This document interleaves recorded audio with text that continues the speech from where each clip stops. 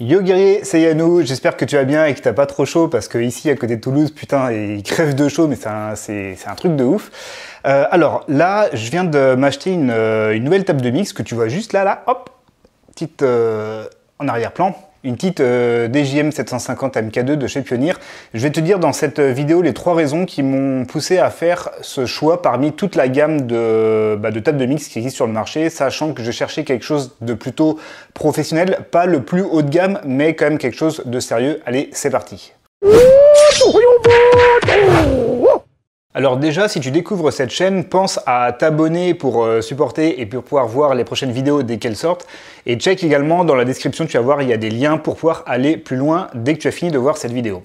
Alors pourquoi j'ai choisi la table de mix DJM 750 MK2 de chez Pioneer Déjà, la première raison, c'est tout simplement pour me familiariser davantage avec du matériel professionnel.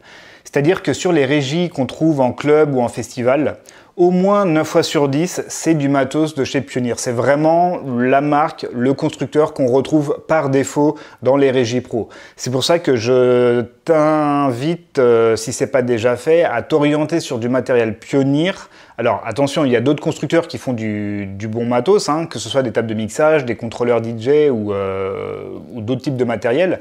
Mais si tu te destines à devenir DJ professionnel en club, en festival ou dans d'autres contextes comme ça, bosser avec du pionnier le plus tôt possible, ça te permet de rentrer dans leur univers, aussi bien pour leur table de mixage, leur platine CD, mais aussi leur logiciel comme Recordbox.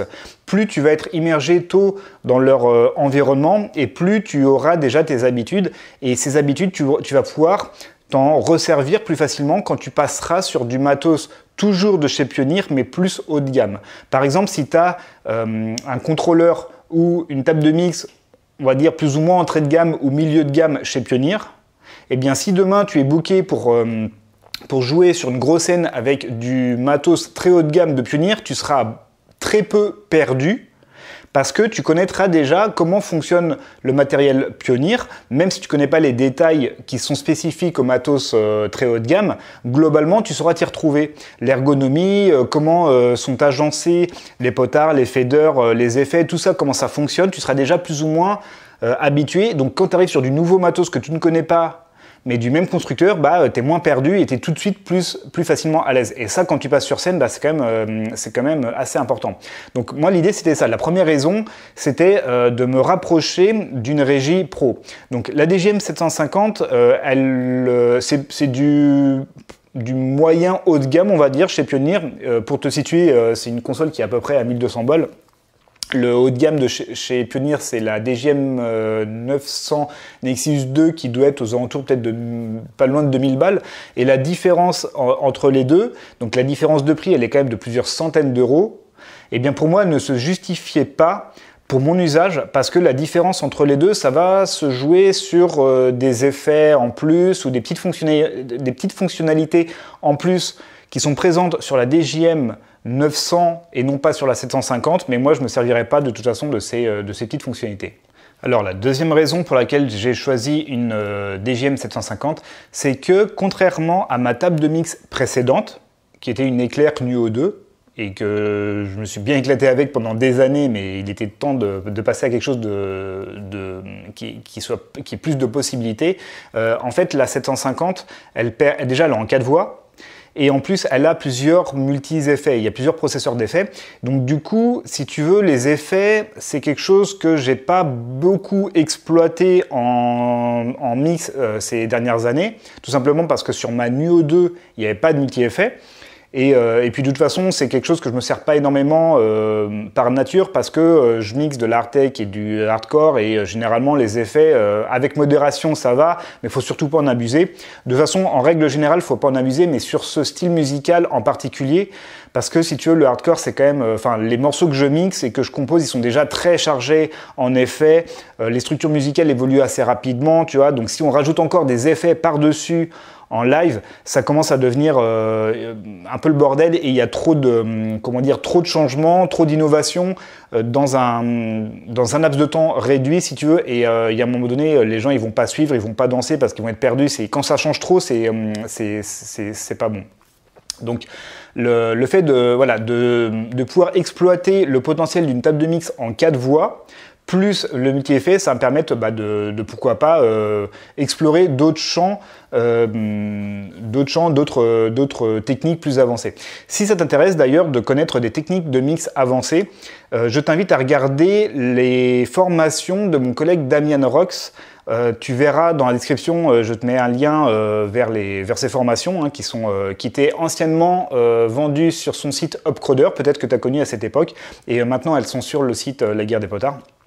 Et euh, tu vas voir euh, donc tout un tas de techniques, euh, donc c'est de niveau quand même plutôt intermédiaire et avancé, des techniques justement qui vont combiner le fait d'utiliser plusieurs voix, des effets, mais pas mal de choses aussi, des techniques pour jouer avec le pitch, pour voilà, donc il y a ces techniques-là, mais il y a également tout ce que, tout ce que tu as besoin de savoir en compétences DJ.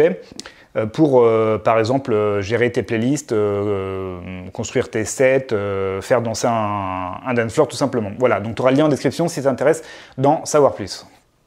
Et enfin, la troisième raison pour laquelle je suis parti sur une DJM 750, c'est que euh, le matos Pioneer, j'ai plutôt confiance en cette marque en termes de solidité et de pérennité. Qu'est-ce que ça veut dire? Le matos euh, Pioneer, pour moi, pour le peu que j'ai testé, que ce soit euh, dans différents contextes, quoi, sur scène ou à la maison, parce que j'ai des petites, les entrées de gamme comme ça, là, les, les platines CD, c'est quand même euh, relativement solide. Bon, ça c'est de l'entrée de gamme, c'est pas le, meilleur, euh, le meilleur exemple, mais euh, généralement quand même Pioneer, je considère que c'est une marque qui est quand même solide, donc ça, ça me rassure.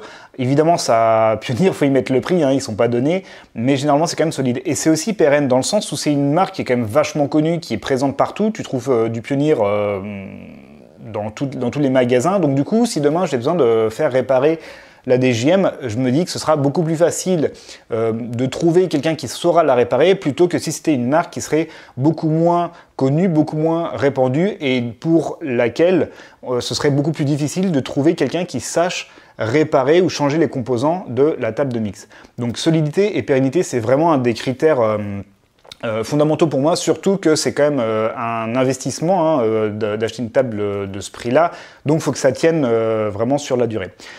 Voilà pour cette vidéo, j'espère que ça t'aura plu. Si tu euh, veux aller plus loin, je t'ai préparé un pack de bienvenue DJing. Qu'est-ce que c'est? Tu vas voir, tu auras le lien en description. C'est un ensemble de ressources que je mets à ta disposition. C'est complètement gratuit, tu verras, tu juste à rentrer ton prénom et ton email dans un formulaire et tu vas recevoir ça par mail immédiatement. Et en fait des ressources pour, euh, bah pour t'aider à démarrer en mix ou pour aller plus loin si tu connais déjà les bases. Tu vas voir, il y a un guide de démarrage avec le vocabulaire, les choses à connaître, le câblage du matériel de mix. Et puis il y a d'autres ressources, il y a des, euh, il y a des, comment dire, des, euh, des petits modes d'emploi sur différentes, différentes choses à savoir en mix qui peuvent t'aider pour connecter une régie, pour faire Bon, je ne vais pas tout dire maintenant, tu verras pour faire tout un tas de choses. Euh, donc euh, voilà, et euh, je t'envoie aussi pas mal de contenu par email, donc check ça, c'est dans la description. Merci d'avoir regardé la vidéo, je te dis à très bientôt, ciao